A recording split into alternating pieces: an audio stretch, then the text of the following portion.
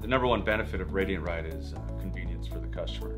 Whenever they're coming in for maintenance, they're able to come in, get their basic services done, but also take care of the windshields, the wheels, the uh, dents at the same time, allowing us to make it a seamless effort. It's very convenient because I come in, I get my oil change done, and I know I can set up my six month service to get everything handled on the vehicle cosmetic wise.